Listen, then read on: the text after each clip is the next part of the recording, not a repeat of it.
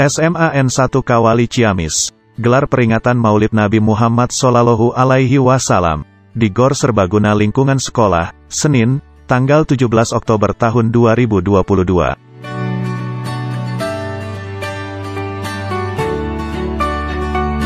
Kegiatan ini sudah biasa dilakukan tiap tahun. Rasulullah sebagai tauladan dalam pelaksanaan kehidupan sehari-hari.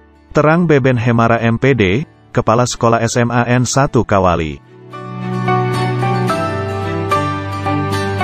Semua siswa mengikuti maulid Nabi ini. Penceramahnya dari Ustadz milenial yang mana tahu mengikuti zaman sekarang. Penceramah tersebut dari Lumbung, ujar Beben. Kan di SMA hmm. 1 Kawali hmm. uh, melaksanakan hmm. peringatan Maulid Nabi. Hmm. Pertama uh, dengan matwa sekarang menjadikan uh, Rasulullah hmm. sebagai suri tauladan dalam pelaksanaan hmm. kehidupan sehari-hari di sekolah. Harapan paling utama kegiatan Maulid Nabi ini, kita meniru kehidupan sehari-hari Rasulullah, dan bisa diterapkan siswa-siswi di sekolah, pungkasnya.